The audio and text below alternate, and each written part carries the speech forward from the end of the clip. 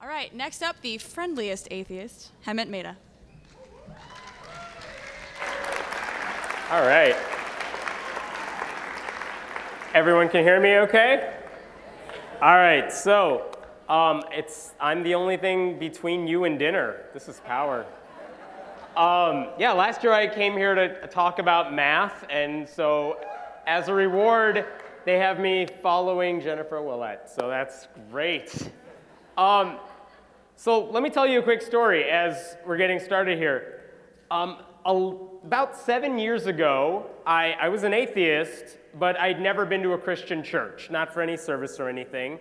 So I'm going to cut you a long story short. I went to a bunch of Christian churches and wrote about, wrote about my experiences in this book called I Sold My Soul on eBay. And after that book came out, one of the cool things was a lot of churches wanted to hear from me as a non Christian hey, can you tell us what our church is like? Do you like our church? Would you come back to our church? Um, it's very nice, but no, was typically the answer. But um, one of the things that happened is I got an email from a guy who said, Hey, um, I go to a Christian college, and every year we try to bring in someone whose own beliefs are completely different from that of our student body. So a couple years ago, we brought in a feminist. And the last year we brought in a local Democrat, and so we, so we figured why not bring in an atheist this year, and why don't you come and talk with us about your book? And then he writes, P.S. I'm an atheist too, don't tell anybody. he says, and he, I find out later, the reason he goes to this really hardcore Christian school is because his dad works there, so he gets free tuition so we figured I'll just suck it up for four years, get my, get my degree for free, and then go off and do whatever I want. And that's exactly what he's doing. Um, so I go down there and I find out, like, first of all, I get to talk to a huge crowd of people who stone faced me for like an hour and a half. But afterwards, I got to meet this guy's friends. Uh, and we went out and we were talking and it was fun. And I find out that he actually is out as an atheist to just a couple of people, a couple friends of his at school who will not tell anybody, so that's very nice of them, and one professor who also will not tell anybody, and that's why he was never expelled. Um, and one of his friends was a Sunday school teacher, and I'm a math teacher, so we have that in common, and we're talking about teaching. No, really, we do. Teaching, I mean, doesn't matter what you're teaching, there's a lot of commonalities. So we're talking about that, and she tells me that as a Sunday school teacher, the curriculum is basically set. She has to teach a certain thing every week to like the eight year olds she works with. Um, and she gets a little bit of flexibility regarding how she can teach this material to the kids. And so one day, the, the pastor at this church that she works for says, You have to teach kids what a Christian looks like. And here's a bunch of gingerbread men cutouts so you can do that. And she's thinking, there, you can't tell what someone, whether someone's a Christian or not just by looking at them.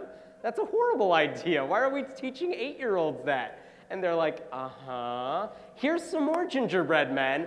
And then have the kids draw what a non Christian looks like. She's like, this is not going to go well. But so she tries to explain to the eight year olds Kids, you cannot know what someone believes just by looking at them. You don't know if someone's a Christian or not just by their outward appearance. You have to talk to them. You have to get to know them. You have to find out what they really think.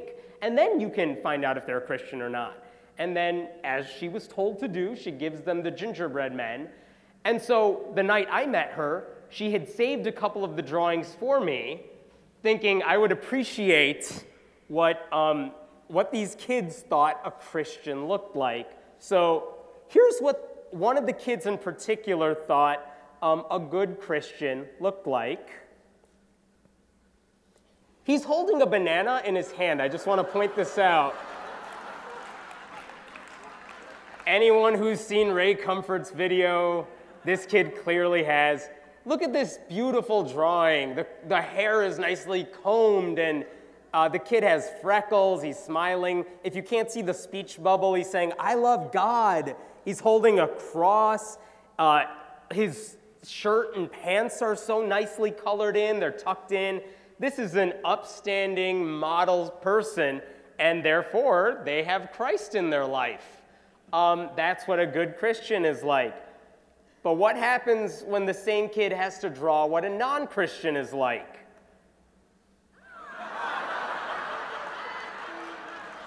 yeah, that's all of you. So let's, let's talk about this. The guy's got a bottle of alcohol. Um, he has, yes, you're not helping. this person has piercings all down their ears. The hair hasn't been combed in who knows how long. He's smoking who knows what. The guy has tattoos that are so bad they're sticking out of his skin. Um, you can't see the speech bubble, but it says, cussing, God isn't real. they didn't even color in the clothes all the way. I don't know what that's supposed to mean. And the guy was so angry, he ripped off of it, he ripped off his sleeves. And, and he has a unibrow, which is really unnecessary. I don't, I don't know why they had to do that. So here's the deal. This kid's eight. And I guarantee you that Sunday school teacher didn't teach this kid that's what a Christian is and that's what a non Christian is. But this eight year old is picking it up from somewhere.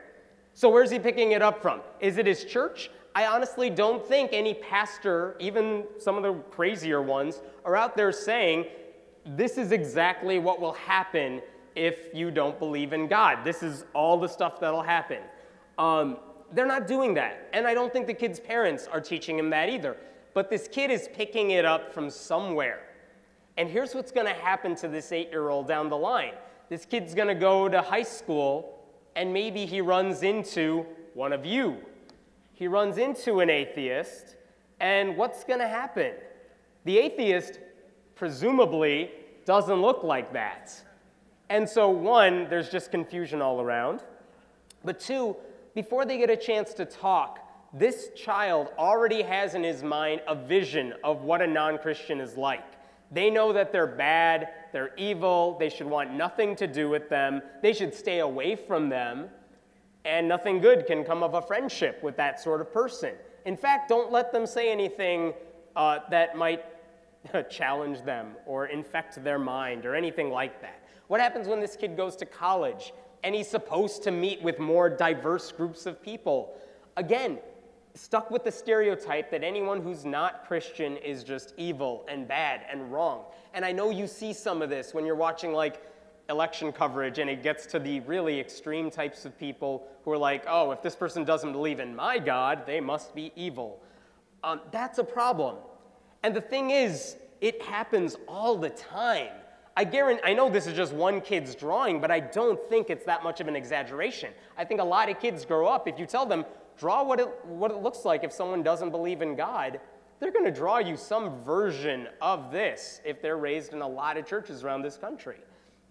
So, why is that a problem? Well, you just heard Jessica's story not that long ago of what happened when all she did was speak up for her First Amendment rights and they went crazy on her. Um, and why? Because that's how they see Jessica. And as all of you are looking up here, it's like, that, uh, that looks nothing like Jessica. But that's what young atheists have to confront on a regular basis. Now, I'm fortunate enough that I came out as an atheist in high school, at least to most of my close friends, and I didn't have to deal with a lot of crap.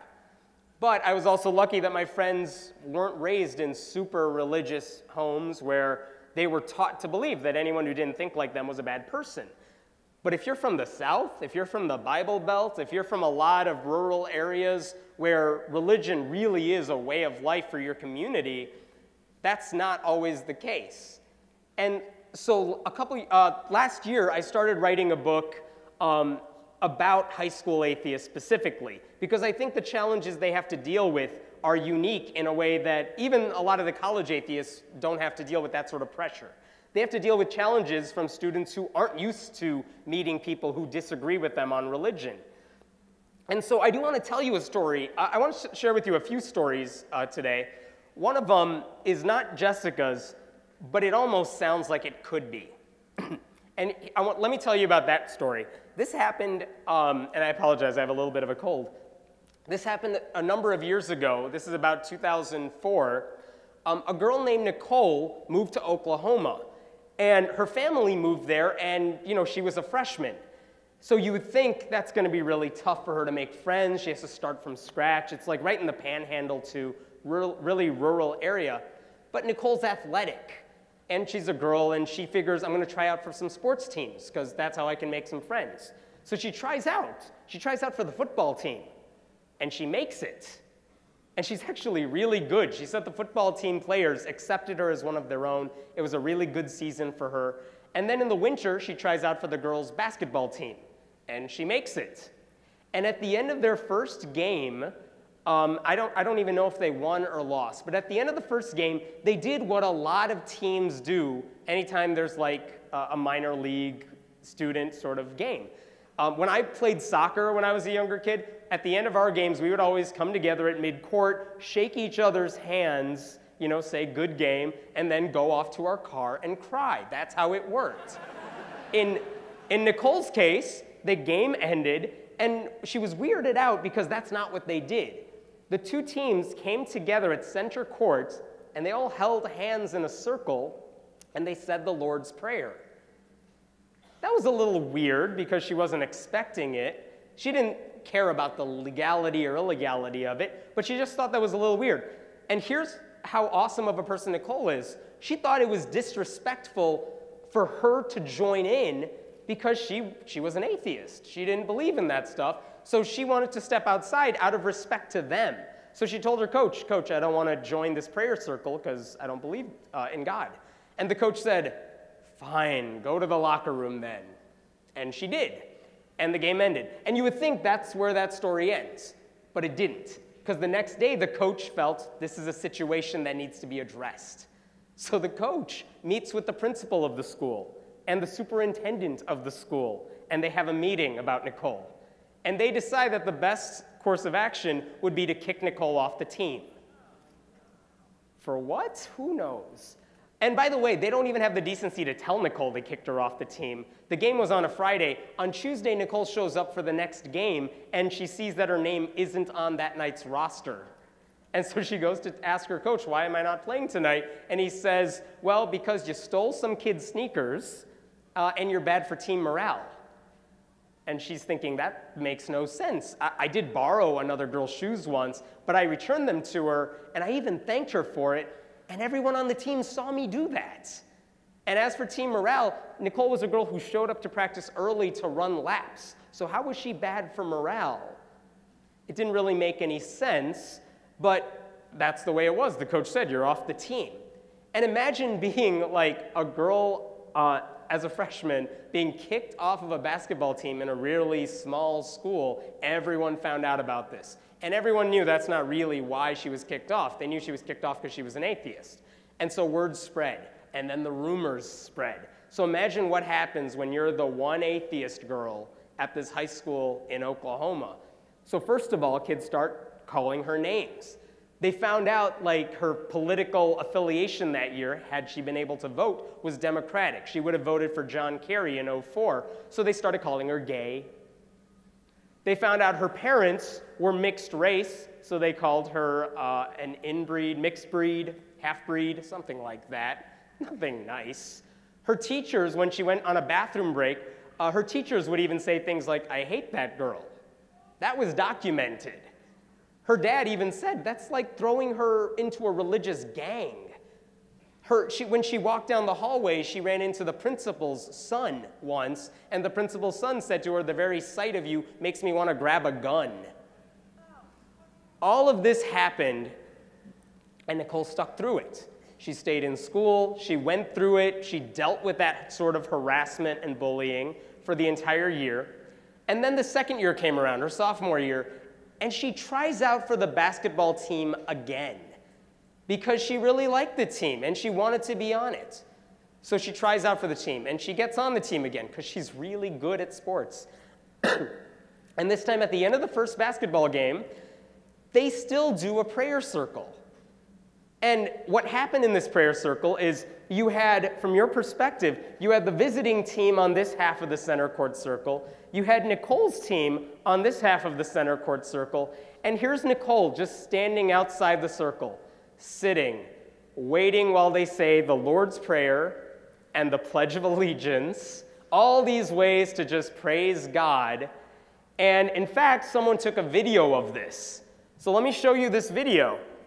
And I'll tell you right now, because the video is going to start, Nicole's the girl standing by herself on the far right. And just watch how that goes down.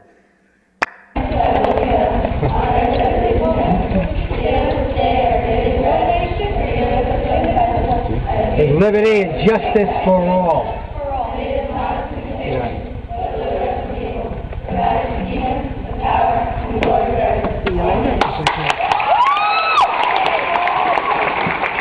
You see that girl coming up to Nicole at the end, giving her a hug?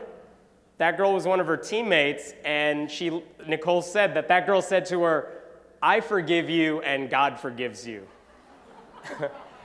and then the next day, Nicole was kicked off the team again. And then she asked her coach why, and the coach said, Because you threatened to kill someone. yeah, that happened. So at this point, her parents are like, this, her dad is saying this is ridiculous because not only was Nicole getting harassed, her younger brother and sister were also getting harassed, uh, even though they were at different schools. Her dad decides, we're just going to homeschool these kids. It's ridiculous what they're going through. He pulls them out of school, and that's what they do. They get homeschooled for the rest of their high school careers. At some point, Nicole decides, I just want to try to go back. I, I want to be around other kids again. And she goes back to school for like a day. And that one day that she's back, she sees that there's a new kid in school. And that new kid sees her. And he's like, Oh, I heard of you. You're that dirty little atheist girl. And then she's done. She didn't want to do public school again. She just stayed homeschooled. So this all happened in like 2004. Her parents, for what it's worth, uh, they filed a lawsuit against the school. American Atheists helped them with that lawsuit, and it was settled out of court as a victory for Nicole's family. So, yay for that, but seriously, at that point, does it really matter? Because look at what she had to go through to get to that point. She basically lost her whole high school career, you know, because she was out of there. She really didn't get a chance to get an athletic scholarship that she probably would have gotten because she couldn't play those sports because look at what she had to deal with. And that sort of thing, we saw it happen all over again when Jessica's situation came up. And Jessica mentioned uh, Damon Fowler and all these other kids. They still kind of go through the same thing. So, what was the difference then? How come, uh, how come Jessica had so much support now? And I would guess most people in this room have not heard of Nicole. And there's a lot of reasons for that. Uh, you could thank the Secular Student Alliance. You could thank the way blogs and the internet helps us spread this information and the way our organizations come together to support these kids. Uh, but at the time, in 2004, those networks were not around to support Nicole. It's not like people were driving to those school board meetings in mass to support Nicole. And that's the sort of thing that happened. Um, Katherine Stewart, this author, wrote this great book called The Good News Club about a Christian club that's kind of taken over a lot of schools. And she has a quotation about Nicole in there uh, and I'm just going to skim through this. For every Nicole, uh, there are thousands of students who wouldn't go through this. They would just join the circle and mumble the words. They know that the locker room is no place for dissent and that a refusal, refusal to participate is just a lack of commitment to the team. They've learned they have to pray to play. And we know that no student should ever have to resort to that. We know that what the school was doing was wrong, and yet she had to go through it because you know we didn't know about it. We didn't know how to stop it. We weren't able to stop. If this thing happened now, oh my God, we would be, all of us would be driving to that school board, school district meeting together um, and putting a stop to it. But these types of stories happen all the time. So over this summer, when I had like the summer break between failing students, um, I did a lot of research into all these stories of high school atheists and stuff they've had to deal with over the past few decades and some of these stories may sound extreme, but they're not that extreme. These types of things have happened for decades, and they're still going on. And the difference is we still don't really know how to deal with it when it comes to high school students. Um, let me tell you another story that's, uh, that you may not have heard of either, because it happened back in the 80s. Um, but this one is just as scary, just as damning, and it's really disturbing. Um, there was a school in uh, Alabama.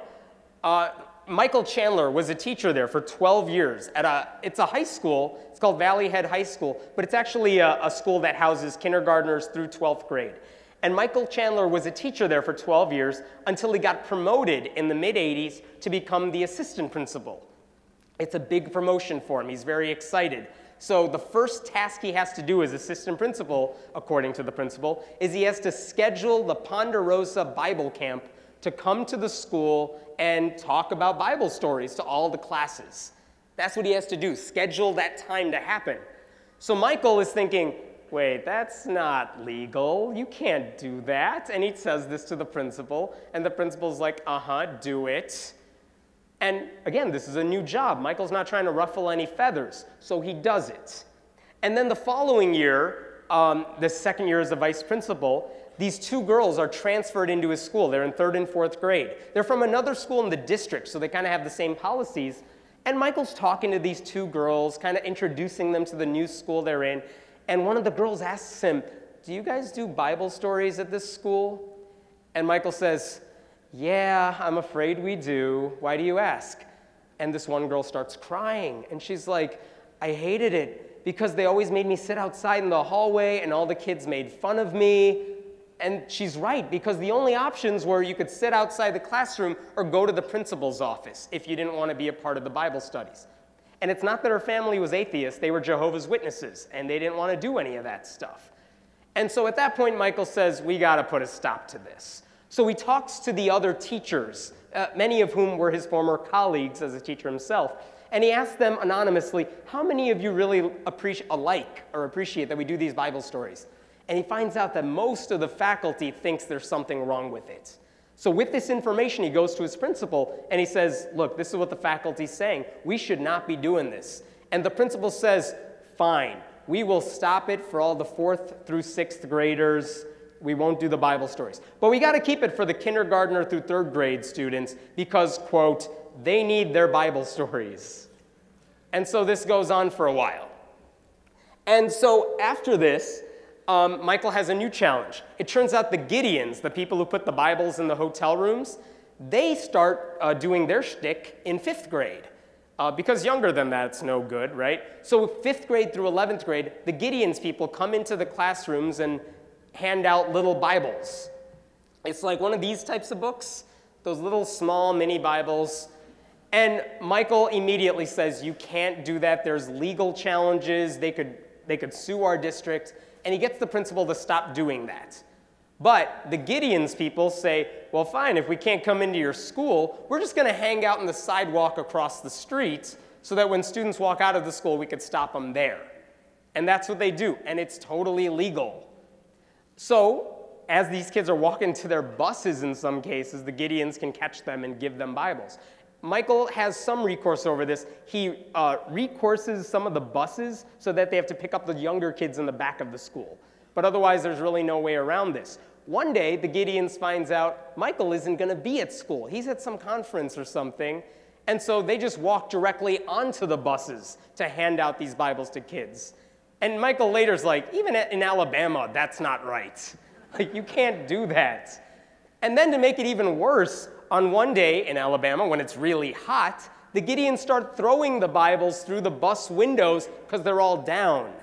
And the only reason Michael found out about this is because one of the kids came into his office the next day with a cut lip because a Bible hit him in the mouth. yeah, oh, it's funny, but it's scary. Don't know how else to phrase that. So at this point, he figures that's, that's the last straw. You can't do this anymore.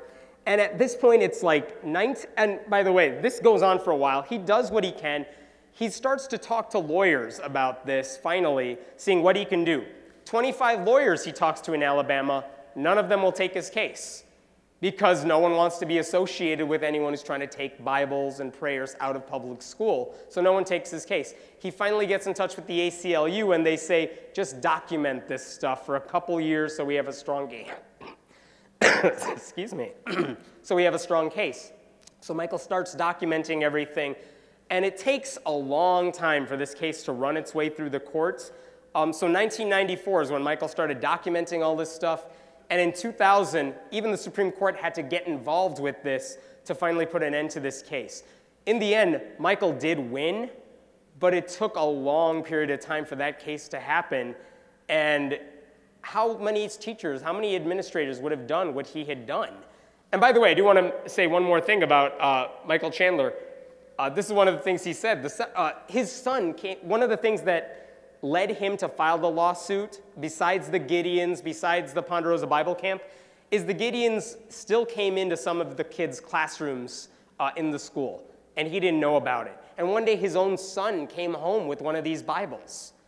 And he said, Son, why did you take that Bible? He, the son said, I didn't think I had a choice. They just handed it to me. And that's when Michael thought it was the last straw. He said the separation of church and state failed because the school gave the impression that accepting the Bible was something he was just supposed to do. It had the school's stamp of approval on it. So, so after all this, Michael finally won his case.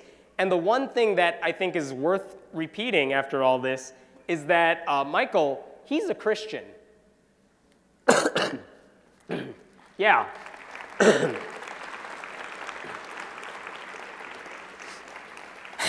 So it's nice to have allies there, but we know that a lot of teachers, atheists included, administrators included, they would not have done what he had done. They would not have put their own jobs on the line, their own careers on the line to fight for the First Amendment, to fight for the Constitution. Um, so this happened 20 years ago. It started 20 years ago. It only ended like uh, in the year 2000. and so that's all the bad news. Let's talk about something a little happier now things are getting better for high school students too. You guys have all seen these reports that younger people are becoming less religiously uh, inclined. And this is one that came out a couple years ago that was really famous. Uh, it's from the Pew, Pew Forum. And you can see that when you're looking at millennial generation, or uh, I'm sorry, the silent generation, the greatest generation, basically anyone born before 1945, um, only about 8% of them are not religiously affiliated. But what happens when you go to the baby boomers? 13%. Generation X, how many of them don't have a religious affiliation? 20%. Sounds impressive. And then you go to the millennials, anyone born after 1981. And if that's you, raise your hand for a second. Lovely. That's a lot of people. So that's 26%. That's one in four people don't have a religious affiliation.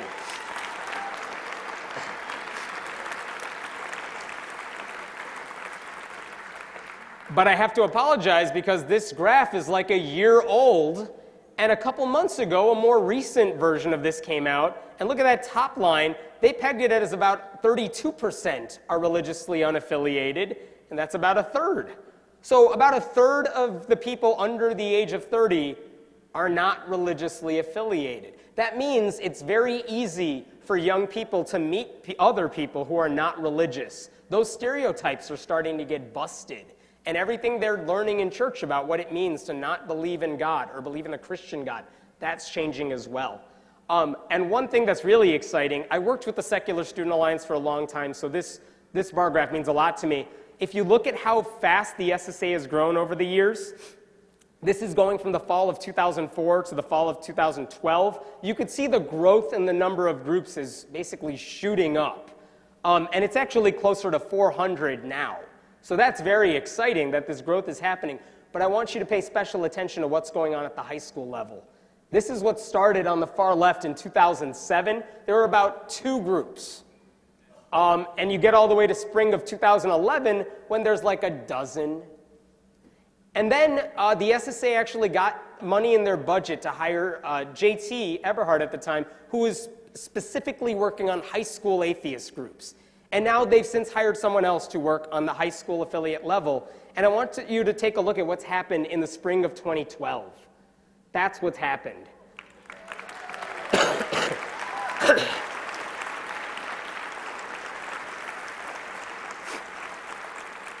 That's 47 as of last spring, and it's probably closer to 60 today.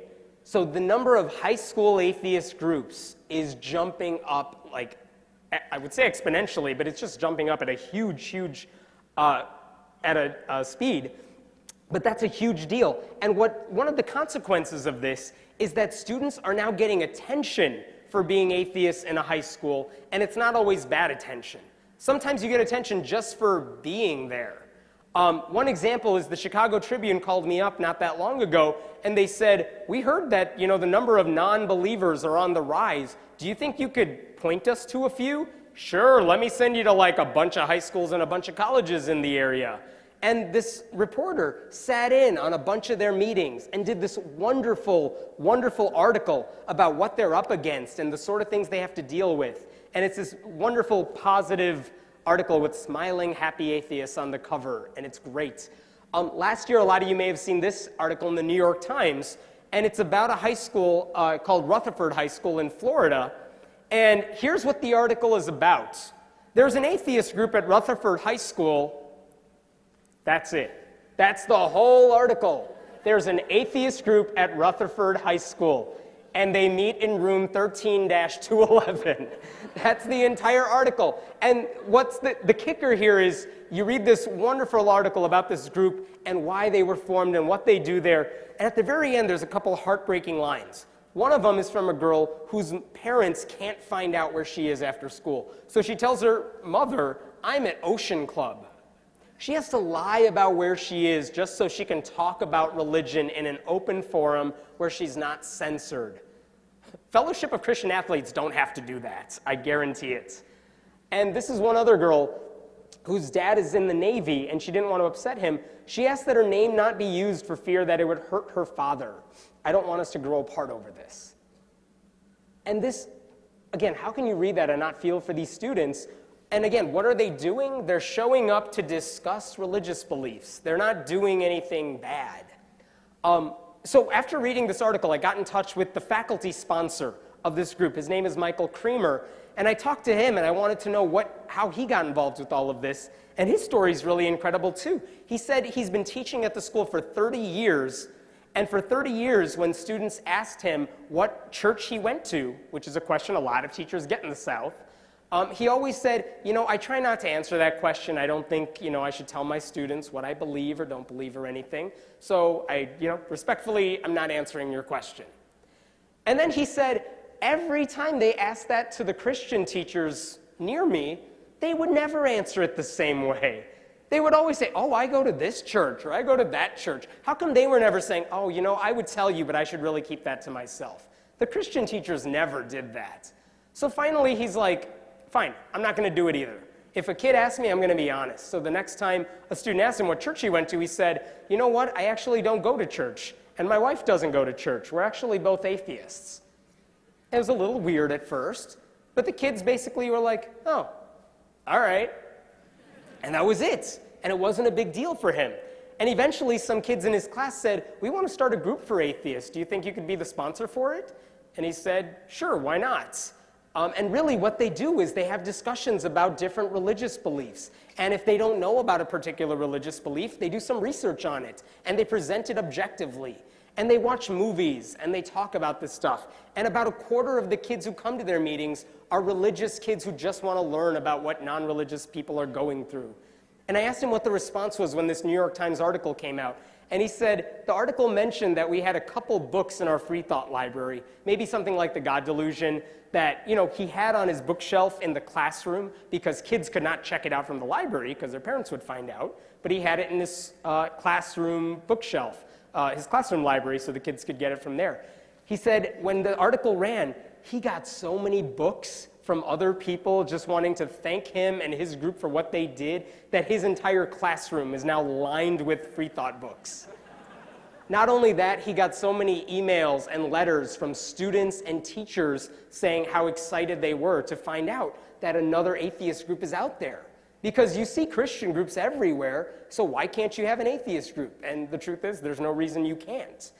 And so that's what he wanted to send the message of like, everyone should do it especially if you're a faculty sponsor like him who has tenure and isn't in danger of losing his job over this sort of a thing, there's no reason to keep it in. So we encourage people to come out of the closet with that sort of thing.